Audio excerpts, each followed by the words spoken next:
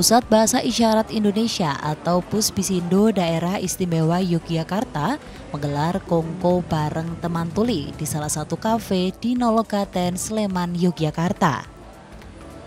Kongko bareng teman tuli ini tak hanya diinisiasi oleh Puspisindo DIY saja, namun juga gerakan untuk kesejahteraan tunarung Indonesia atau Gerkatin DIY berisyarat dan Pusat Layanan Juru Bahasa Isyarat DIY. Acara tersebut selain sebagai ajang silaturahmi, namun juga praktik langsung dan wadah bertukar ilmu antara teman tuli dan teman dengar, serta sebagai cara untuk merangkul masyarakat guna meningkatkan kepekaan agar Indonesia semakin inklusi. Ya, uh, acara ini tujuannya uh, teman tuli untuk uh, merangkul teman-teman dengar jadi di sini untuk memperkenalkan uh, tuli itu bagaimana jadi teman-teman tidak merasa kasihan dengan tuli tapi oh ternyata tuli ini seperti ini ya. Nah, terus di sini seperti apa ya? sebagai uh, jembatan, jembatan akhirnya teman-teman bisa berkomunikasi dan uh, berinteraksi bersama gitu.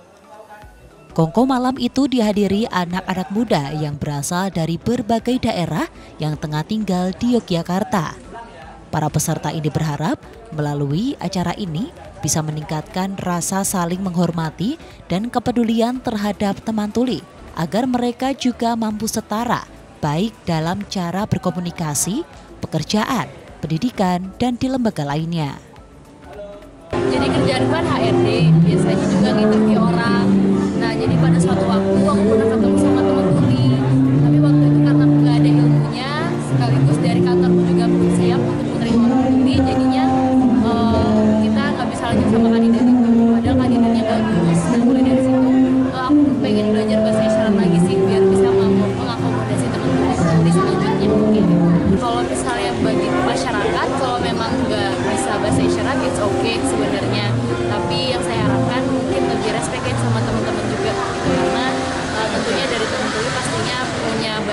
challenge ya ke depannya dalam kehidupan sehari-hari baik secara pendidikan, bekerja dan lain sebagainya. Itu sih. Untuk meningkatkan sumber daya manusia, teman tuli dan juru bahasa isyarat berharap acara serupa mampu terus terselenggara dengan konsep yang lebih menarik serta berbeda. Dari Sleman, daerah istimewa Yogyakarta, Erik Pratama, Aditi TV